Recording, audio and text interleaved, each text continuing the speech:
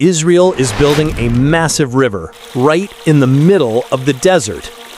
This is happening in one of the driest places on earth.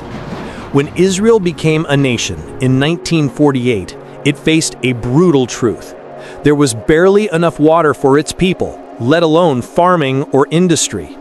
So the pioneers came up with an idea so ambitious it sounded insane. Two-thirds of Israel is desert. The Negev alone covers more than half the country.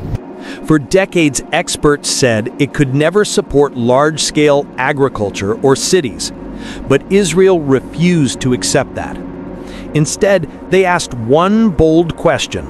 What if we could make the desert bloom? The desert is not supposed to have rivers. No lush valleys, no running streams.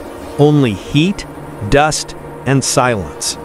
Today, we uncover how a tiny country is turning the impossible into reality.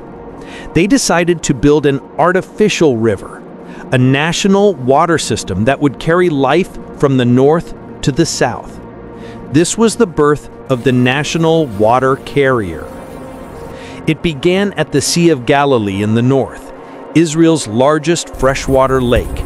From there, engineers designed a 130-kilometer network of pipes, tunnels, and open canals.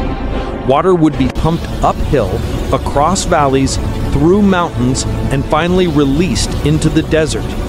It took years of planning, massive funding, and unwavering belief. But when the project was completed in 1964, everything changed. The Negev desert started to bloom. Today, Israel has taken the vision even further. Over 80% of its drinking water now comes from the sea. Five huge desalination plants along the Mediterranean turn salt water into fresh water every day. That water is then fed into the same national network, creating what some call a man-made river flowing through the desert. But it's not just about moving water. It's about using it wisely. Israel pioneered drip irrigation, a technology that delivers water drop by drop directly to plant roots. This method cuts waste by up to 60% and has made desert farming profitable. From tomatoes to dates, from vineyards to solar farms, the Negev has become a global symbol of innovation. Now, Israel is planning something even bigger. A new mega project aims to connect the Red Sea to the Dead Sea, creating a continuous flow of water across the desert.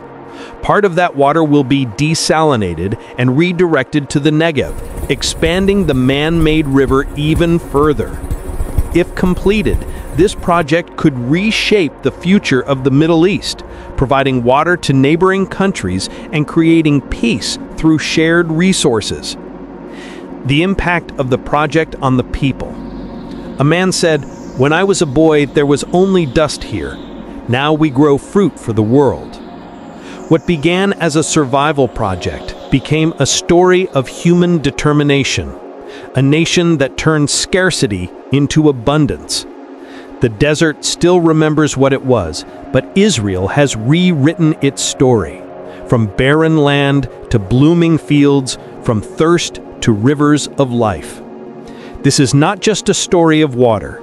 It's a story of vision, resilience, and faith that even the driest land can be reborn. How Israel built a river in the desert. Innovation, persistence, hope.